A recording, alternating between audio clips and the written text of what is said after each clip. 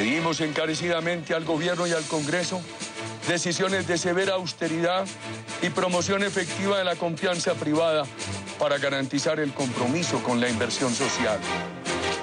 Con afecto y solidaridad con nuestros soldados y policías, integrantes de las Fuerzas Armadas de la Democracia, pedimos al presidente Santos y al Congreso que se permita un alivio judicial que no constituya impunidad.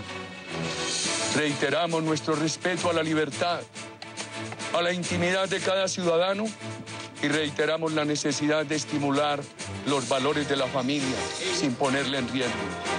Los valores de familia defendidos por nuestros líderes religiosos y pastores morales. Pedimos una reflexión a la comunidad internacional. Queremos contribuir a un acuerdo nacional, que nos escuchen las razones. Sabemos que nuestros compatriotas del sí, al recibir el mensaje de nuestra buena voluntad, nos escucharán y los escucharemos. Pedimos lo mismo al gobierno, a sus negociadores y a la comunidad internacional. Colombianos, corrijamos. La democracia de nuestra patria ha sido superior a, toda la, a toda la presión oficial para imponer el sí.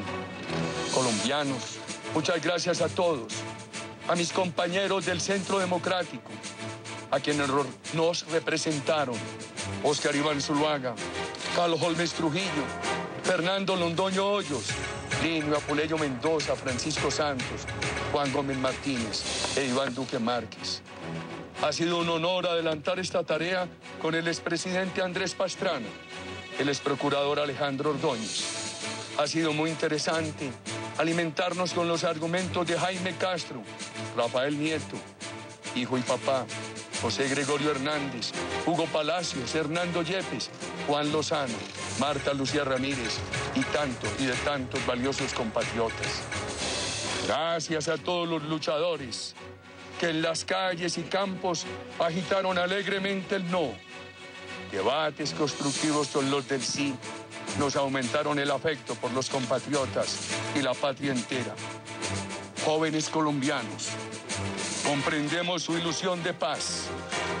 Que hoy sea motivo de reflexión para construirla en la solidez de la libertad, que es lo único que hace posible el avance de la ciencia, también de grados superiores de verdad a partir del aporte de cada uno.